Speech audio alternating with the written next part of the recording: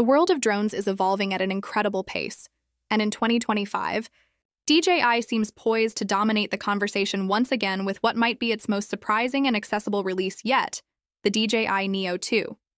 Following months of leaks, speculation, and subtle teases hidden in field test footage, the Neo 2 has become one of the most anticipated compact drones of the year.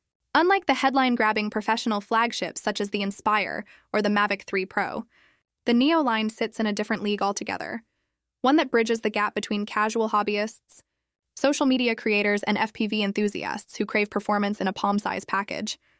The first Neo, launched in September 2024, quickly gained a cult following for being both incredibly fun and surprisingly capable. It was small enough to fit in a jacket pocket yet powerful enough to deliver 4K 30 FPS footage, intuitive controls, and robust obstacle avoidance for its size. But like any first generation product, it wasn't perfect. Limited battery life, low light instability, propeller noise, and light wind susceptibility were all common complaints. DJI listened carefully, so now with the Neo 2, the company aims to redefine what a mini selfie drone can do in 2025. Every detail leaked so far, from component labels to flight test videos, suggests this is not just an incremental update, but a meaningful evolution built from the ground up. The most intriguing early clue came from a product label leak showing a Class 1 laser warning, a small line of text that instantly set forums ablaze. According to international laser safety standards, Class 1 lasers are harmless to human eyes, which means DJI could be incorporating a new laser based infrared distance sensing or obstacle avoidance system. This is likely a 3D infrared sensor with a detection range of roughly 8 meters, similar to what appeared on the DJI Flip, a product that integrated cutting edge proximity mapping for safer indoor flight. The challenge, however, lies in design. The original Neo's front section was so compact that adding a forward facing sensor seemed nearly impossible. To accommodate this, leaks point to a raised bump on the top housing of the Neo 2, a subtle design choice that would give the internal sensor array enough clearance to function effectively while maintaining aerodynamic stability. In an industry where every gram matters, such a modification signals serious engineering ingenuity. This theory gained traction when drone analyst Igor Bogdanov posted a frame from a behind the scenes video of the Avata 3 prototype. Eagle eyed fans noticed a small drone taped up in the corner, later identified as the Neo 2. The taped up parts were likely there to conceal the new sensor module. Two days later, leaker Jasper Ellens confirmed that the Neo 2 features redesigned propeller guards and possibly a slightly bulkier front section, again reinforcing the raised housing hypothesis.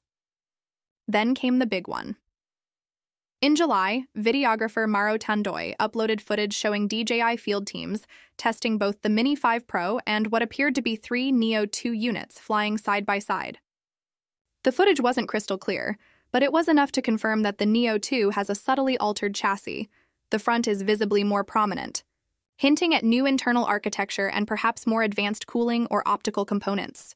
Another significant discovery from the label was the upgraded battery rating, 1660 mAh, at 11.5 W, compared to the Neo 1's 1035 mAh at 10.5 W.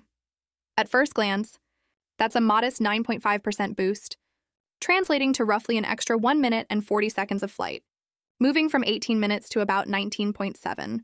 But raw numbers don't tell the whole story. DJI's recent engineering strides, particularly evident in the Mini 5's design, demonstrate how optimization can squeeze much more endurance out of a similar power profile. By improving energy density, motor efficiency, and aerodynamic shaping, DJI might easily push the Neo 2's practical flight time to between 20 and 23 minutes, an impressive figure for a sub 200 gram drone. To put this in perspective, some third party modders in China have already tested 2,500 mAh Ultra batteries on Neo 1 frames, gaining nearly double flight time with only 30 grams of added weight. If DJI has refined its cell chemistry and voltage management, 23 minute endurance sounds entirely plausible. Of course, flight time alone won't excite creators unless paired with a capable camera system, and this is where expectations are soaring. The Neo 1 shipped with a 1.2 inch 12 MP sensor capable of 4K 30 FPS video at 75 Mbps bitrate. Decent for quick content, but it struggled in dim lighting and lacked dynamic range. Rumors now point to a 1.3 inch CMOS sensor, possibly borrowed from the DJI Flip, boasting 48 megapixels and 4K recording at up to 60 FPS with 150 Mbps bitrate. That's not just a spec bump. It's a creative leap. The larger sensor captures nearly 80% more light per pixel, producing smoother gradients, sharper details, and more accurate color reproduction, even at dusk or indoors. This would allow the Neo 2 to deliver truly cinematic vertical shots tailor made for platforms like TikTok Reels and YouTube Shorts, directly appealing to the creator generation that made the first Neo so successful. Despite the new imaging muscle, DJI is likely keeping the Neo 2's gimbal to a single mechanical axis, supplemented by advanced electronic stabilization. Why weight and simplicity? Adding a three axis mechanical gimbal would push the drone beyond its ultralight category and complicate the folding design. Instead, DJI's software engineers are betting on refined EIS and gyroflow algorithms to deliver stable, horizon locked video even during aggressive motion. The larger sensor also provides extra pixels for digital reframing, allowing subtle electronic corrections without noticeable loss in quality. For casual users, this translates to smoother footage and perfectly leveled selfies even when flying one handed. One critical pain point with the original Neo was its struggle in low light or indoor scenarios.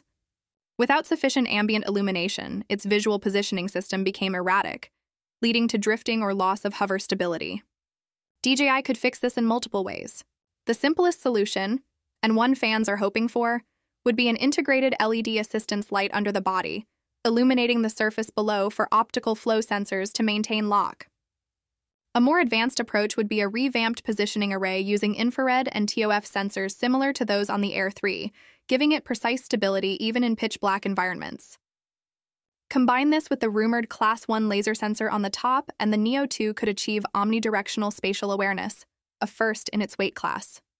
Sound has also been a topic of community debate. The Neo 1's propellers produced a high pitched whine that, while common in mini drones, was notably harsher due to small two blade prop designs. DJI has a history of tackling acoustic issues with aerodynamic tweaks, and it's almost certain the Neo 2 will debut redesigned three blade propellers with a curved leading edge to smooth airflow and lower decibel output. Leaked parts suggest slightly longer propellers with softer composite materials, which would also increase efficiency at lower RPMs. Reducing noise not only makes flights more pleasant for the user but also minimizes disturbance in populated or wildlife sensitive areas like a growing Consideration as regulations tighten worldwide. When it comes to transmission, the Neo 2 inherits DJI's OcuSync 4 system, the same robust link used in the Mini 4 and Avata 3. With 1080p live feed transmission at 60 FPS and up to 20 Mbps bandwidth, it ensures ultra low latency control even in urban interference. The Neo 1 was already impressive in this regard, but battery and heat limits capped performance. With improved power management, the Neo 2 should achieve longer range and fewer dropouts. Expect a maximum distance of 10 kilometers in FCC regions and 6 kilometers in CE zones, numbers that put it on par with much larger drones. Weight has always been a defining characteristic of the Neo series. The original's 135 grams made it feather light, but also vulnerable to wind gusts.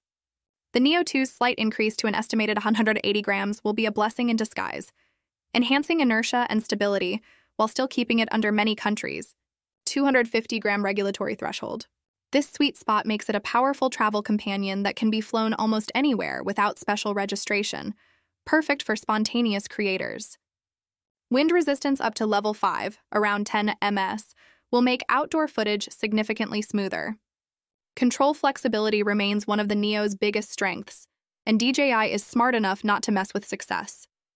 The Neo 2 retains all the multiple control options that made the original such a joy to use app based virtual joystick mode for casual pilots, gesture recognition for hands free selfies, voice command activation with Hey, Fly, and full compatibility with FPV controllers, like the RC Motion 3 and DJI FPV controller. 3. Advanced users will also be able to pair the Neo 2 with Goggles 3 or Goggles N3 for immersive first person flight. This cross ecosystem integration shows DJI's ongoing commitment to unifying its product line, making even an entry level drone part of its broader FPV and cinematic workflow.